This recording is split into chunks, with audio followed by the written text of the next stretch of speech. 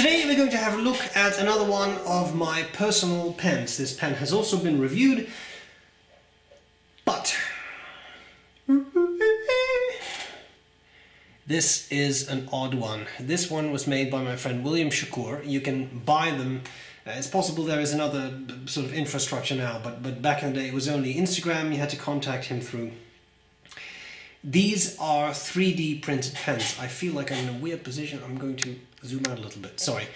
These are 3D printed pens. I saw this for the first time uh, with my friend Wacko Jacko, uh, who had one, and I think there are some interesting things going for this pen.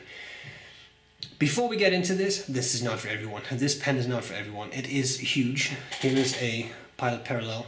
Uh, massive pen, very thick, very girthy, and um, it has facets. There's also a flat top version now. I want to say this one is called the Titan 3D printed. Except, of course, for the nib, the feed, number 8 nib, Bock, in this case titanium, and it has a piston. So it's piston filled. Uh, you can you have these ink windows so you can see how much ink is left. Huge. Very, very big. Faceted, and the section is faceted as well, and for some reason it works. It doesn't really post, but I don't think you really need to post this.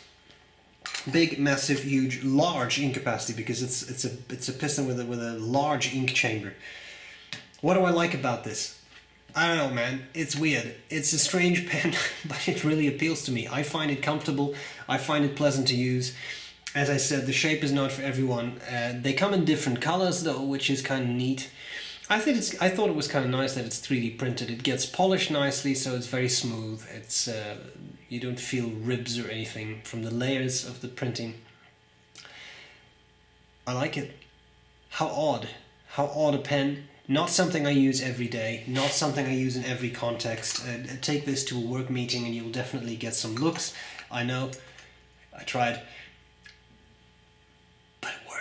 And if you like bigger pens, it's kind of fun. A fun pen to play with. And this is also the type of pen uh, because there is a plastic, what do we call this?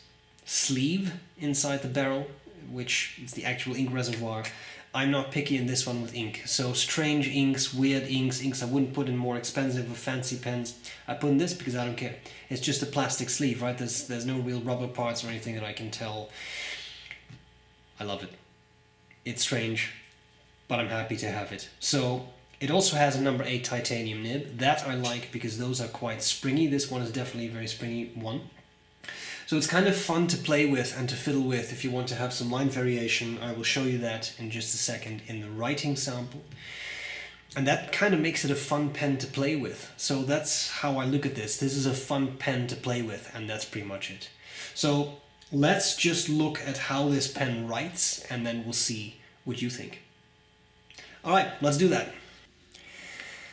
Okay, so here we go with the William Shakour. I'm just going to write Shakour if you don't mind.